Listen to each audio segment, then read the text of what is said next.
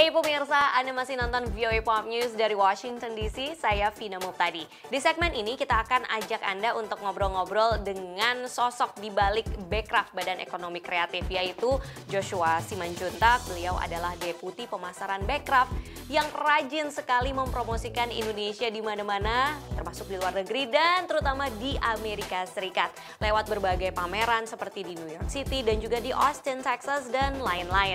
Nah, ingin tahu lebih lengkap lengkapnya mengenai peran Backcraft di Amerika. Langsung aja kita ngobrol sama Joshua Simanjuntak yang akan dipandu oleh Naratama.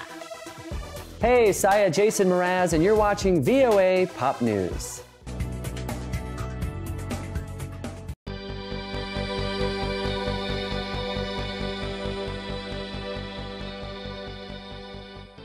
Sekarang kita langsung ketemu dengan Pak Joshua gimana yeah. Pak Joshua nih dengan Backcraft nih lagi terus-terusan bolak-balik ke New York nih kayaknya kemarin ke South yeah. Southwest sekarang ke New York yeah.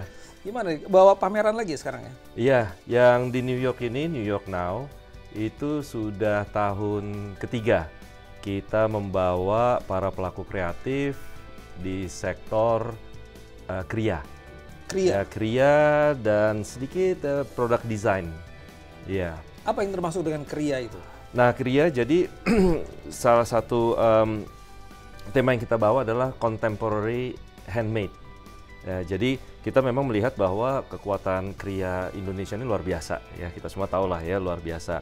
Nah dengan sentuhan desain ya desain yang lebih modern, um, kriya-kriya berbasis uh, budaya ya uh, kearifan lokal seperti itu uh, menjadi sebuah produk yang kekinian, produk yang kontemporer lah kita bilang ya seperti itu. Nah itu yang kita tampilkan uh, di New York Now. Jadi bukan hanya seperti uh, dekoratif saja, tetapi sudah menjadi produk-produk yang bisa digunakan.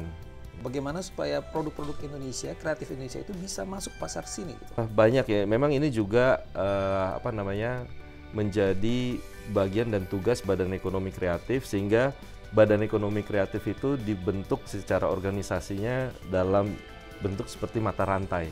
Hmm. Ya, jadi ada deputi riset edukasi dan pengembangan, deputi akses permodalan, kemudian deputi infrastruktur, ya, deputi hak apa fasilitasi hak kekayaan intelektual dan regulasi, deputi antar lembaga dan ujungnya kan pemasaran. Hmm. Ya, saya di situ di ujung ya. Bagian nah, jualan. Ya. Nah, iya. Jadi contohnya ya, oke, okay, bagaimana produk ini harus kita harus punya winning produk. Ya, jadi situ adalah pelatihan, pelatihan mengenai packagingnya, pelatihan mengenai uh, sumber daya manusianya dan lain sebagainya supaya nanti kita mempersiapkan uh, produk ini bisa masuk pasar uh, global pasar ekspor ya. Apakah ada strategi khusus dari Backcraft misalnya mm -hmm. kalau kita lihat misalnya pop culture dari Korea misalnya, oh mm -hmm. ada K-pop gitu ya, atau mm -hmm. misalnya kalau di Amerika ada hip hop gitu, mm -hmm. Latin ada macam-macam. Yeah. Itu ada ada nggak sih desain khusus sendiri dari Backcraft yang apa nih yang mau dijual yang bisa masuk ke pasar bukan hanya Amerika atau pasar dunia?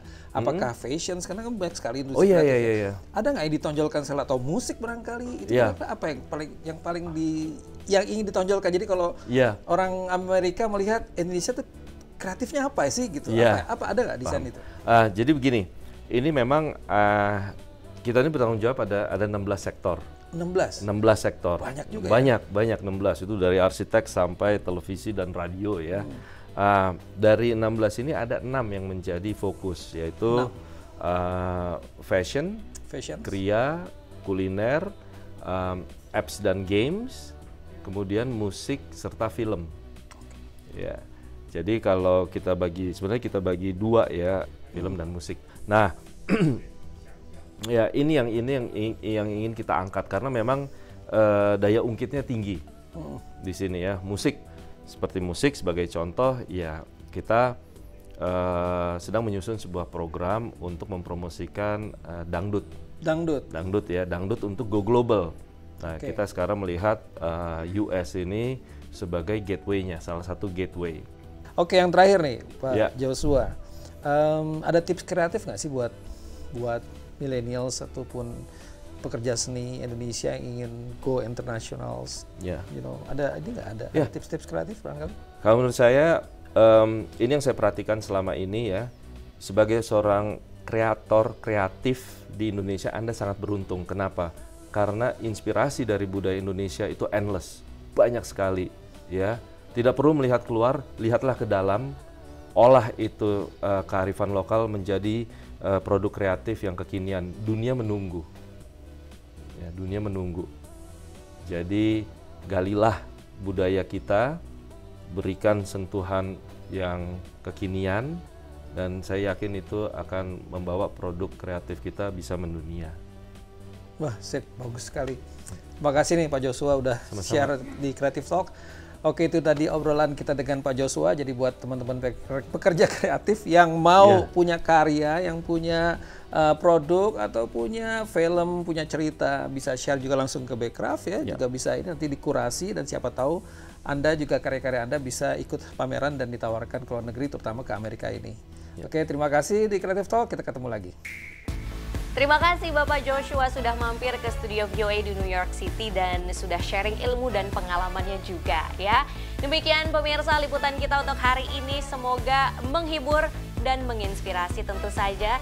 Jangan lupa kalau ada komentar, pertanyaan atau apa aja pengen lihat konten-konten lainnya bisa ke media sosial kami yang ada di bawah ini. That's it for now. Saya Vina Murtadi dan Rere Wahyudi pamit dulu and we'll, we'll see you next week.